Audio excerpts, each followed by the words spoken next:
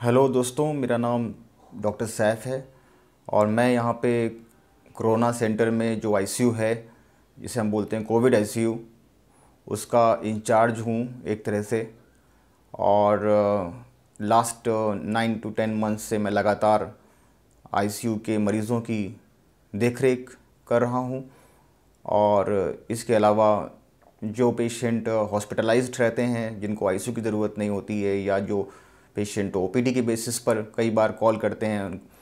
उनको भी जानकारी और उनके इलाज में लगातार अपना योगदान last six to seven month से मैं दे रहा हूँ। तो ये वीडियो बनाने का मकसद जो है वो सिर्फ़ इतना है कि आप सब जैसा कि जानते हैं कि बहुत कोविड तेज़ी से सेकेंड वेव के रूप में फैल रहा है और इससे बहुत सारी जानें लगातार जा रही हैं, बहुत सारे पेशेंट्स जो कोविड पॉजिटिव हो गए हैं और जिनको माइल्ड टू मॉडरेट सिम्टम हैं, वो बड़े परेशान हैं कि कब सीवियर हो जाएँगे, कब क्रिटिकल हो जाएँगे। बहुत सारे मिस हैं मिसकॉन्सेप्शन है तो मैं, मैंने सोचा है कि बहुत सारे वीडियोस मैं बनाऊँगा इस पर। उन मिसकॉन्सेप्शंस को, दवाई को लेकर और वैक्सीनेशन को लेकर और सेकेंड वेव में क्या डिफरेंसेस हैं फ़र्स्ट वेव ऑफ़ कोरोना के मुकाबले। तो इन सब पे मैं अलग अलग वीडियोस बनाऊँगा जानकारियों के लिए।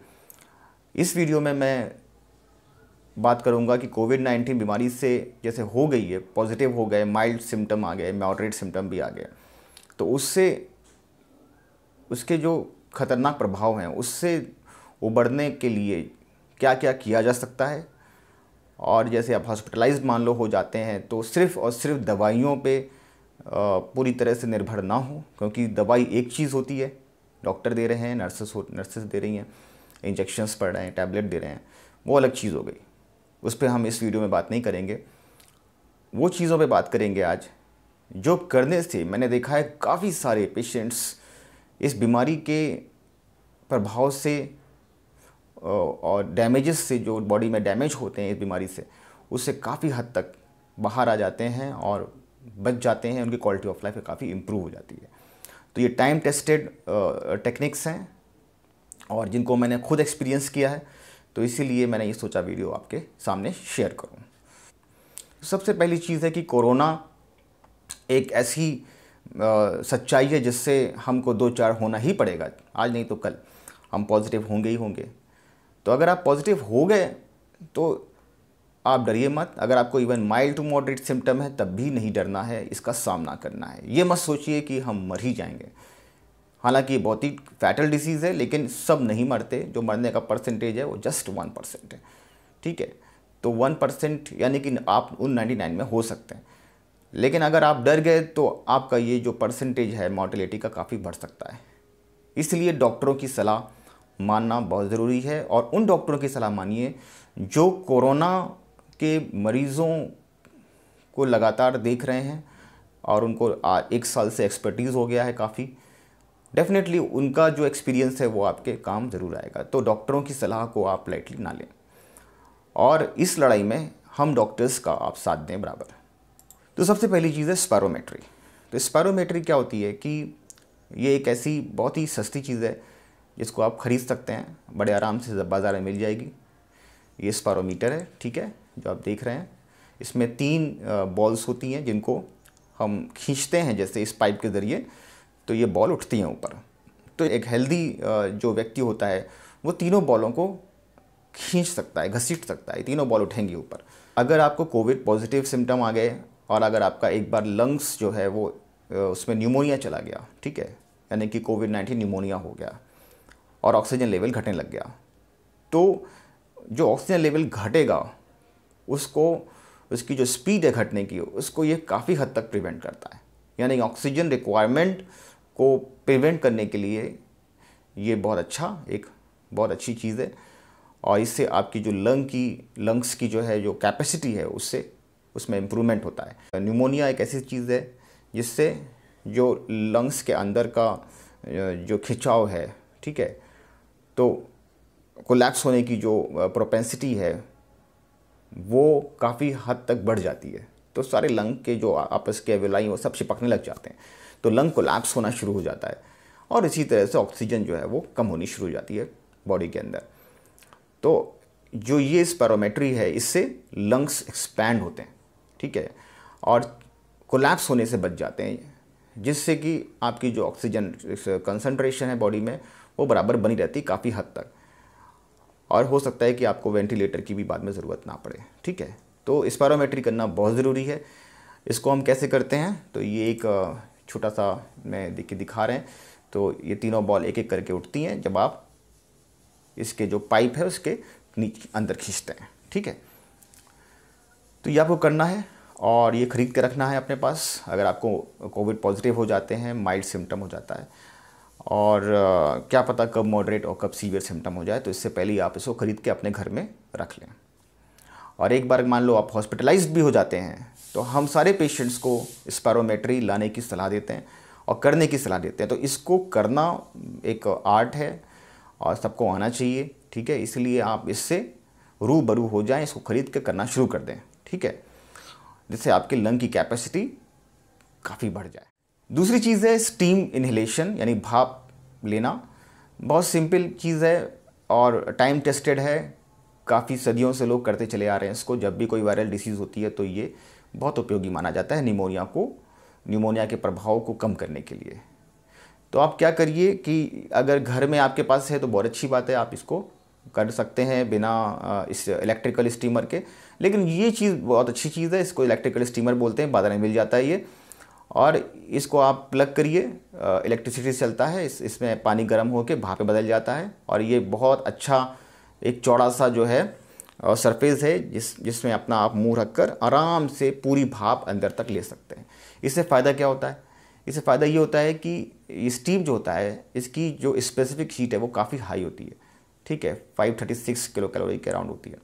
तो ये स्पेसिफिक हीट से वायरसेस का जो प्रभाव है वो तो कम होता है। वायरसेस किल होते हैं। और दूसरी चीज़ है कि जो लंग्स के अंदर म्यूकोसीलरी मूवमेंट होता है, यानी कि जो रेस्पिरेटरी ट्रैक्ट होता है, उसके अंदर एक सीलिया होते हैं, ठीक है? जिससे कि जो मूव करते हैं तो पूरा म्यूकस लेयर जो है वो मूव करता है। तो उस म्यूकस लेयर को बनाए रखने में और सीलियरी मूवमेंट को बनाए रखने में ये भाप काफ़ी मदद करते हैं और साथ ही साथ आपके जो जम जो वायु मार्ग है, यानी एयरवेज हैं, ठीक है? पाइप्स होते हैं छोटे छोटे बहुत ही पतले पतले पाइप्स होते हैं विंड पाइप्स होते हैं। उसमें अगर म्यूकस प्लग फंस गया है जिसकी वजह से बाद में कोलैप्स हो सकता है लंग तो उस म्यूकस प्लग को बनने से रोक देता है और मान लो बन भी गया है तो उसको डिजोल्व कर देता है। तो इतना उपयोगी है ये स्टीम इनहेलेशन ठीक है? तो इसको आप हर तीन घंटे में, हर दो घंटे में लेते रहें अगर आप कोविड पॉजिटिव हो गए हैं और आपको माइल्ड टू मॉडरेट डिसीज़ हो गई है। तो कम से कम आपके लंग्स जो है वो एकदम ओपन रहेंगे। तीसरी चीज़ है सेल्फ प्रोनिंग तो जैसे कि अगर मान लीजिए कि आपको ऑक्सीजन का लेवल नाइन्टी परसेंट से नीचे लग रहा है कि सैचुरेशन प्रोब लगाने के बाद कि नाइन्टी परसेंट से नीचे जा रहा है, आपका ऑक्सीजन कम हो रहा है, आपको लग रहा है कि कुछ तकलीफ़ हो रही है, ठीक है? कमज़ोरी सी लग रही है तो आप उल्टा लेटना शुरू कर दीजिए, ठीक है? उल्टे लेटना यानी पेट के बल लेटने से क्या होता है कि आपके लंग लंग्स के अंदर जो ऑक्सीजन की कैपेसिटी है, जी ऑक्सीजन की मात्रा है, वो बढ़ने लग जाती है। लंग्स का कंप्लायंस जैसे हम बोलते हैं अपने मेडिकल भाषा में वो कंप्लायंस इम्प्रूव होता है। तो और और जो पीछे के पार्ट्स होते हैं लंग्स से बहुत सारे एरियाज़ होते हैं तो जो पीछे के एरियाज़ होते हैं वो एक्सपैंड हो जाते हैं। और वो एक्स, उसके एक्सपेंशन से ऑटोमेटिकली ऑक्सीजन का जो मात्रा है शरीर के अंदर वो बढ़नी शुरू हो जाती है। ठीक है? तो इसको करना बहुत ज़रूरी है। कम से कम हर दो दो घंटे में तीस तीस मिनट के लिए उल्टा लेटना अति आवश्यक है जिससे आपके लंग्स इम्प्रूव होंगे। ठीक है? तो अगर आपको इवन ऑक्सीजन नहीं मिल पा रही है, मान लीजिए टाइम पर, और आपका सैचुरेशन ड्रॉप हो रहा है तो आप इसे करना शुरू कर दीजिए। इससे बहुत इंप्रूवमेंट होगा। और इवन अगर ऑक्सीजन मिल भी जाए, और आप आप हॉस्पिटलाइज हो जाते हैं, किसी तरह की भी ऑक्सीजन पे रहते हैं, आपकी ये एक्सरसाइज बहुत कम आएगी। और आपको आगे कोविड से होने वाले जो लंग्स में डैमेज होते हैं, उससे को प्रिवेंट करने में काफ़ी सहायता मिलेगी। तो आप ये भी करना शुरू कर दीजिए। अब ये है last cheese mobilisation to chair mobilisation to chair मतलब कि आपको लगातार बिस्तर पे लेटना नहीं चाहिए दिन में एटलीस्ट उससे क्या होता है लंग्स जो है वो कोलैप्स हो जाते हैं। तो ज़्यादातर बैठें, अगर आप हॉस्पिटलाइज हो गए हैं तो ये मत समझिए कि आपको बस आराम करना है दिन भर, रात भर, ऐसा मत करिए। रात सोने के लिए होती है, दिन काम करने के लिए होता है। दिन में मैंने आपको बता दिए ये सारे काम करने हैं आपको। ये सारी एक्सरसाइज जो है, फेफड़ों की करनी है। और साथ ही साथ आपको जितना हो सके बैठना, बैठने की कोशिश करनी चाहिए। कई सारे मरीज़ जो हैं वो कंप्लेन करते हैं कि हम बैठे कैसे, बहुत तक कमज़ोरी है, बहुत पीठ में दर्द है या फीवर है, हम लेटे रहना चाहते हैं। ठीक है, आप लेटिए, लेकिन अपना जो अनुपात है बैठने का, ठीक है, जितना आप कोशिश कर सकते हैं, जितनी आपके अंदर इच्छा शक्ति है, उसको कलेक्ट करके, उसको लगा के आप जितना बैठ सकते हैं, ज़्यादा से ज़्यादा बैठिए, ठीक है उस एक हफ़्ते के अंदर जिसमें आप कोविड पॉजिटिव हैं, अगर आप जितना लंबा बैठेंगे, ठीक है, जितना आप अपने फेफड़ों को फुला के रखेंगे, उतना ही जल्दी इम्प्रूव हो जाएँगे। ये एक, बिल्कुल अब लास्ट हम लोग पहुँच गए हैं। ये है हाई प्रोटीन डाइट यानी कि उच्च प्रोटीन आहार। आपका ये प्रोटीन जो है, वो बहुत ज़रूरी है बॉडी में इम्यूनिटी को इम्प्रूव करने के लिए।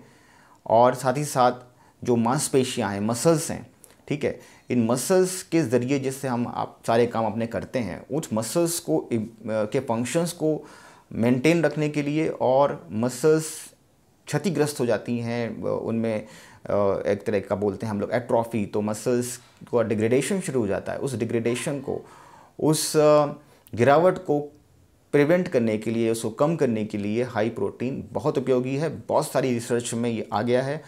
हम तो क्रिटिकली पेशेंट्स मैनेज करते हैं तो हम हाई प्रोटीन देते ही हैं। लेकिन वैसे भी अगर आप माइल्ड टू मॉडरेट डिसीज़ में हैं कोविड पॉजिटिव की, उसमें आप हाई प्रोटीन लेना शुरू करिए। बाज़ार में ये high necks H P Kabi pro Ensure H P बहुत सारे नामों से उपलब्ध है।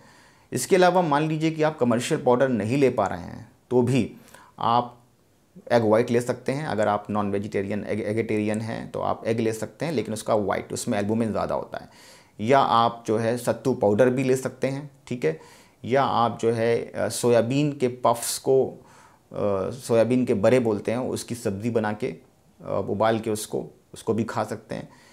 लेकिन बेस्ट ये रहेगा कि हम अगर अगर प्रोटीन पाउडर लें शुगर फ्री, उसको मेंटेन रखें अपने आहार में तो उससे आपका जो है प्रोटीन का स्तर काफ़ी मेंटेन रहेगा और आपकी इम्यूनिटी इंप्रूव होगी और आपकी मसल्स मेंटेन रहेंगे, ठीक है? तो उनकी ताकत में कोई कमी नहीं आएगी, जिससे कि आप सारी जो लंग्स की एक्सरसाइज हैं और मोबिलाइजेशन थेरेपी वगैरह वगैरह, वो कर पाएँगे और आपको कमज़ोरी बिल्कुल नहीं लगेगी। ठीक है? आप अपना ख्याल रखें घर पे और सैचुरेशन की मॉनिटरिंग करते रहें। अगर आप कोविड पॉजिटिव हैं तो सैचुरेशन को मॉनिटर करना बहुत ज़रूरी है। किसी एक डॉक्टर के संपर्क में रहें जो कोरोना के बारे में जानता हो, उसके इलाज के बारे में जानता हो, जो लेटेस्ट इलाज है।